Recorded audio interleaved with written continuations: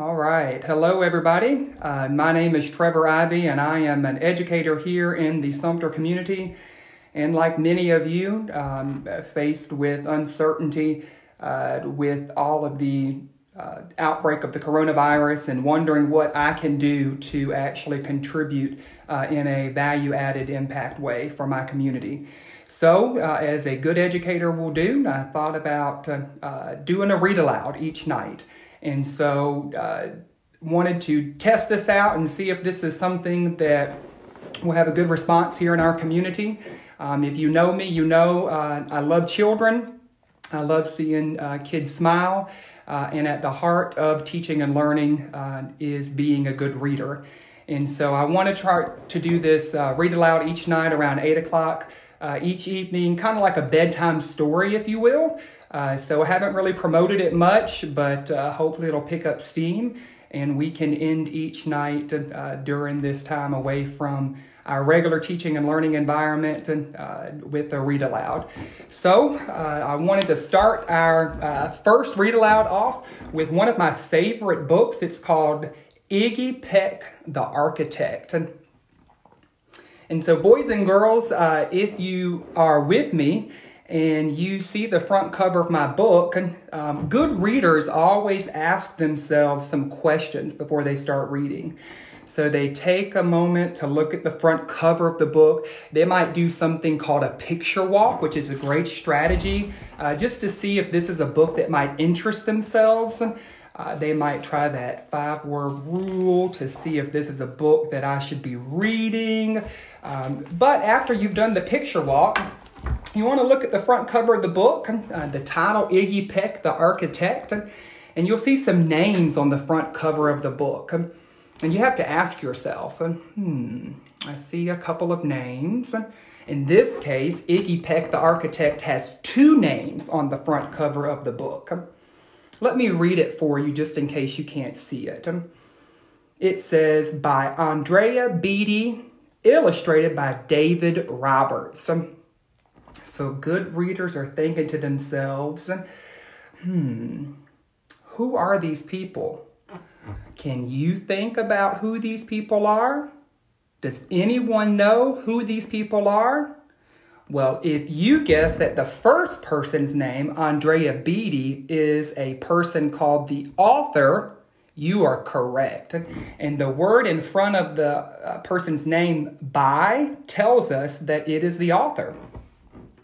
And if you look at the second name and if you thought to yourself, this is an illustrator, hmm, you are absolutely correct because it actually tells us illustrated by David Roberts. So, so the last thing a good reader would ask themselves before they start reading the book is, how can I classify this book?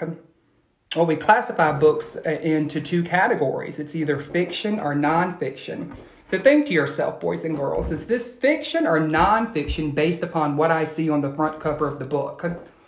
I'll let you think to yourselves for a moment. Did you guess right? Did you back it up with facts?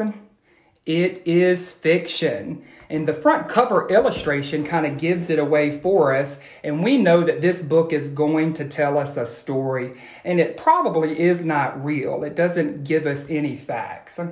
So, without any further ado, boys and girls, our first read aloud night with Dr. Ivey before you go to bed, it's Iggy Peck, the Architect. Let's find out what this book is about.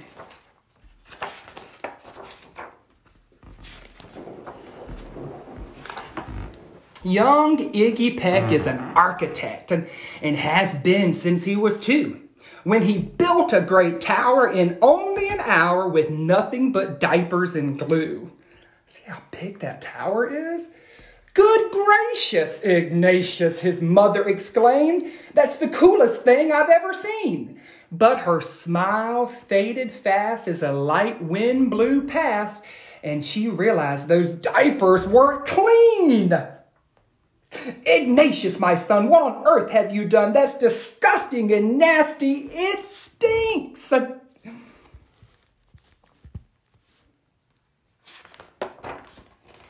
But Iggy was gone. He was out on the lawn using dirt clods to build a great sphinx.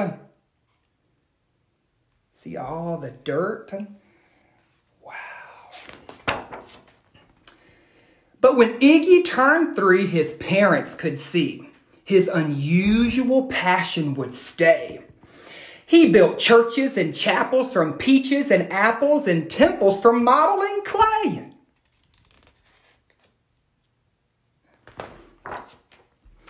At dinner one night, to his father's delight, Iggy got a bright gleam in his eye.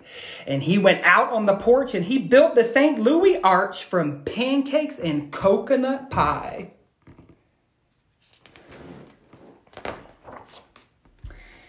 Dear Ig, it made it until second grade when his teacher, her name was Miss Lila Greer. On the very first day, she had this to say we do not talk of buildings in here.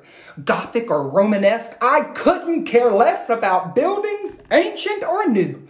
She said in her lecture tone about architecture that it had no place in this here grade two.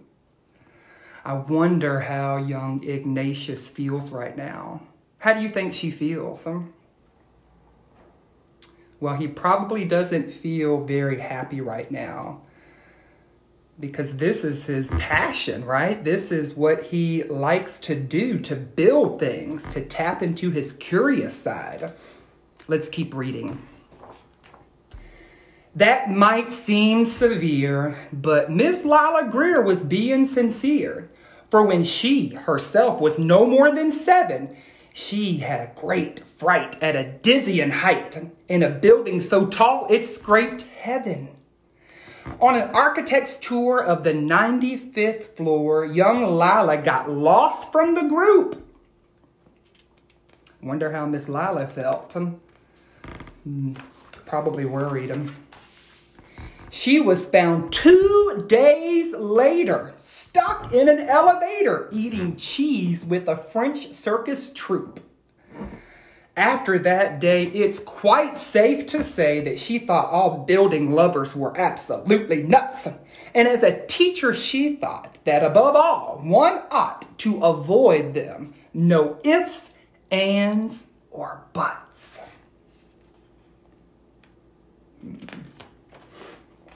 So, as you might guess, it would cause little Iggy some stress to hear such terrible talk. But he didn't hear. He sat in the rear while building a castle of chalk. You, Iggy Peck, your desk is a wreck, Miss Lila Greer said. Tear down that castle right now. You will not build in here. Is that perfectly clear? Do you need to go see Principal Howe? Hmm. I wonder how young Iggy felt. Probably not so happy. No, ma'am, Iggy said as he lowered his head and his heart sank down to the floor. With no chance to build, his interest was killed. Now, second grade was just a bore.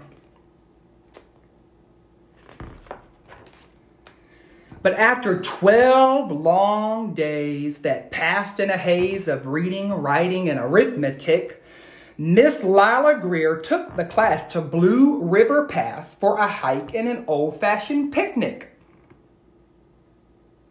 Sounds like a fun field trip. I wonder what is going to happen. Hmm. What do you think is going to happen? Let's find out. As they crossed an old trestle to a small island nestled in the heart of a bubbling stream, but they no sooner passed than the footbridge collapsed and Miss Lila Greer started to scream. We're trapped here. Oh my, alas, kids, goodbye. Her eyeballs rolled to the back of her head. She dropped to the ground with a vague groaning sound. Luckily, she fainted. She wasn't dead.